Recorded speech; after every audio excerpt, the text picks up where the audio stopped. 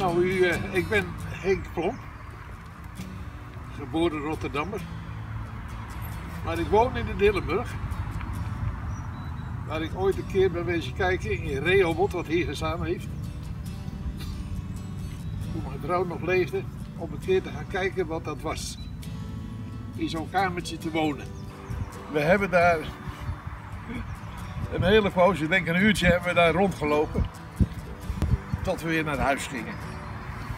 En het eerste wat ik tegen mijn vrouw zei toen we in de auto zaten. Joh, lieverd. Heb je wel gezien waar we geweest zijn? Je denkt toch niet dat ik ooit van mijn leven in zo'n kippenhok ga zitten, hè? Ja, wie had kunnen denken dat ik binnen enkele jaren gedwongen was om daar gaan te wonen. Of ik ben terechtgekomen in de Dillenburg.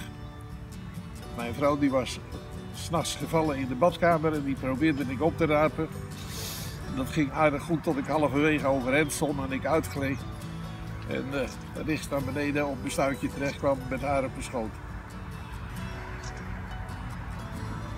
Ik heb er een paar dagen mee gelopen en ik zei tegen mijn kinderen, nou, joh, ik moet toch even naar de dokter, naar, naar het ziekenhuis en een foto maken van mijn rug, want er is vast iets kapot. Nou, zo gezegd, zo gedaan. De andere dag naar het ziekenhuis. Ik zeg, ik moet zo weer terug. Want ik kan niet zo lang wegblijven. Nee, u blijft hier. Want u heeft een verbrijzende rugwervel. U mag geen stap meer lopen. Ja.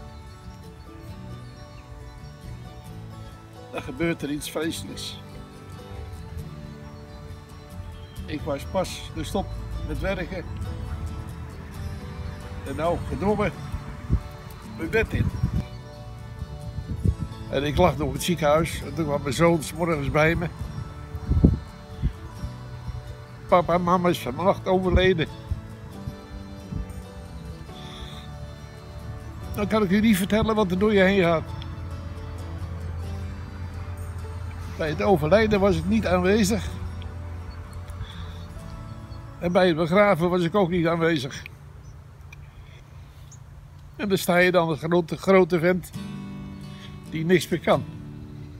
Tot op een gegeven moment dat ze bij me kwamen met een plomp.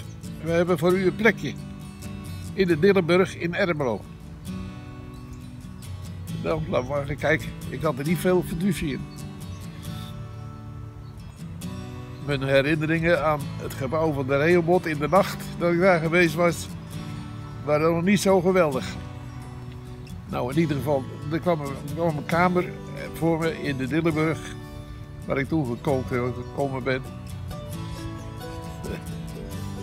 En toen zat ik daar eenmaal, ik geloof na een maand. Dus ik wil hier eigenlijk niet meer vandaan. En nu uh, woon ik in de Dillenburg. En nu zeg ik, ik wil hier niet meer weg. Ik ben zo hartstikke blij dat ik hier niet weg hoef. En dat, dat ik hier ga blijven zitten, dat het allemaal loopt zoals het nu loopt. Hetgeen wat ik toen heb gezien. Dan kijk ik nu op een kale vlakte, maar ik weet dat er iets moois gaat komen. En ik ben er zo blij mee. Want ik het zo reuze naar mijn zin. De verzorging is zo geweldig. En de aandacht.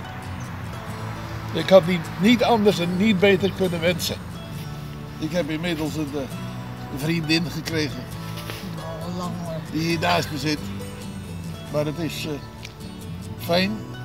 Ik ben, ik ben gewoon hartstikke gelukkig dat het kan blijven bestaan. Dat je alles meegemaakt hebt, dat alles hier stond nog. En dat je, dat je dan eerst, eerst zegt, ik wil hier van mijn leven niet zitten. Hoe kom je erbij?